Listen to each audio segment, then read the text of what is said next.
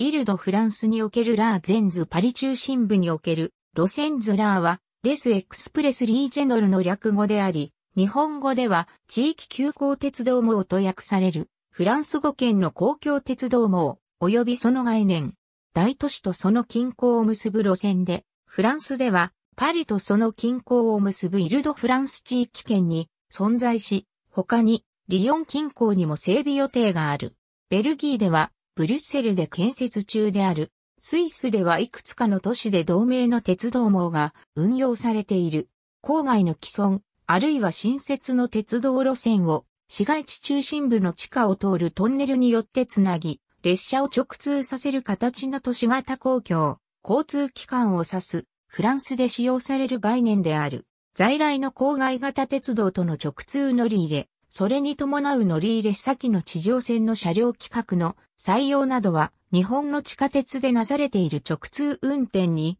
同様のものを見ることができる。しかし、単区間のサービスは並行するメトロが担うことから都心部に設置する駅の数を限定させ、高速運行を可能としていることが特徴である。ラーに対比されるメトロは路面の鉄道の立体化を意図して建造されたため、短い駅間隔、市外のみの路線、究極線区間の多さや、それに伴う小型車両の使用などの点で対照的である。ドイツやスイスの S バーンはラーに類似している。特にスイスではドイツ語で S バーンと呼ばれる路線がフランス語でラーと表記される場合がある。パリ以外では現在計画中の段階ではあるが、ベルギーのブリュッセルへの導入が予定されている。整備予定。現行では地域圏急行輸送テル、ローヌアルプ地域圏として運用されており、非接触型 IC カードオラの料金体系が整備されている。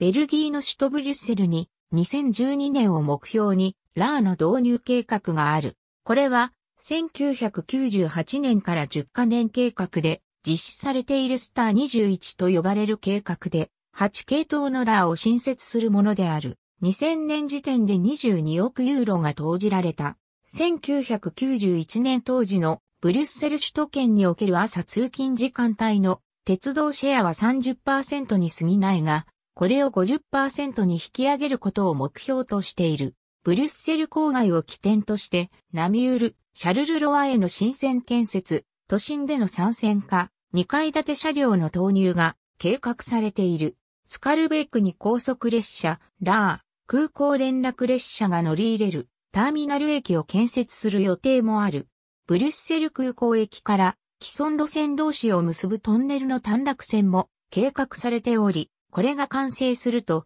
EU 本部付近に駅が開設され、空港から直通列車が乗り入れる。スイスではドイツ語圏の S バーンをフランス語圏でラーと呼ぶ。これらの路線はスイス国鉄を中心にいくつかの他社路線と共同運行されている。ジュネーブのラーは、ローンエクスプレスリージョナルの略とされる。都市部をまたいで郊外から郊外を結ぶ路線ではないため、厳密にはラー及び S バーンの概念に当てはまるものではないが、ジュネーブの中央駅であるコルナバン駅を起点として、以下の路線が近郊圏を結んでいる。また、欧州宗教やフランス国境をまたがずにジュネーブ州内を移動する場合は、ラーもバスやトラムと同じ市内交通の切符で乗車できる。フランスにまたがる路線は、フランス国鉄 SNCF の地域圏、急行輸送テル、ローネアルプ地域圏のネットワークにも含まれ、常日の非接触型 IC カードオラも使用可能である。ジュネーブ発着の長距離列車も、その多くがコルナバン駅をまたいで、ジュネーブ空港まで乗り入れて発着している。長距離列車も空港、コルナバン駅間の移動は市内接付で乗車できる。ジュネーブ貨物駅の一部を旅客用に開放した簡易停車所。一駅しかなく、ランシー到着後に操車場へ退避するため、車庫行きの性格の強い路線だが、拡張が予定されている。以下参照。2012年より、それまでフランス国鉄の管轄であったターミナル駅のジュネーブ、オービーブ駅と国境を挟んだ隣町であるフランスのアンヌマスを結ぶ路線を拡張する工事が着工しており、2018年竣工予定である。ランシー・ポン・ルージュからの路線を地下トンネルや掘り割りなどで OB 部に連結し、コルナバン駅発着のラー路線として整備する。完成後は、スイス国鉄とフランス国鉄の共同運行となり、従来の単線区間は複線化する。OB 部駅及び途中駅のシェーヌブール駅は19世紀からの駅舎をそのまま利用しながら地下に新規の駅構造を拡張する。シェーヌブールの駅舎はこの工事に伴い30メートルほどの距離を工事用レールで移動して移築した。この他にジュネーブ大学シャンペール病院前とカルージュに新駅が建設される。この工事はセイバ計画と呼ばれている。フランス国鉄は2013年3月までシェーヌブールとアンヌマス間の部分運行を行っていたが、4月以降は運休し、シェーヌブール区間が工事に入った。これにより、フランス側の途中駅、アンビーは廃止された。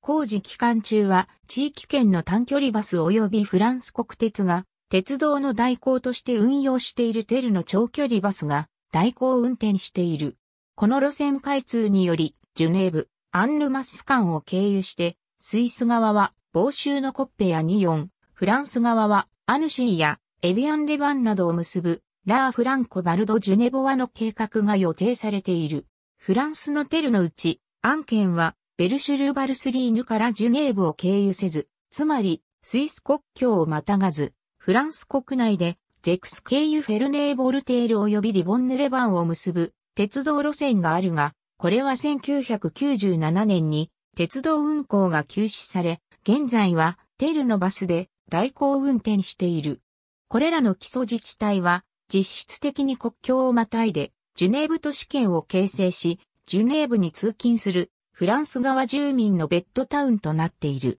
このうちジュネーブ市内からジュネーブ空港のすぐ裏手の国境を挟んだフェルネーボルテールを経由してジェクスに向かう路線はジュネーブ州立交通局 TPG 管轄のバスが走っている。またテルバスと中駅のサンジェニプイにも TPG のバスが乗り入れている。ディボンヌレバンにはジュネーブからの TPG 深夜バスが走っているほか、コッペからニヨン市管轄 TPN のバスも走っており、ラー、テル、TPG、TPN が合わさってスイス・フランス国境地域一帯を結ぶネットワークを形成している。ニオンからその近郊の A 山までは、ボーシュラーの管轄である貨物主体の短い鉄道路線が走っているが、かつてこの路線は1962年までは国境スイス側のクラシエを経由してリボンヌレバンまで通じていた。このため、ベルガルド、リボンヌ、ニオンを結ぶ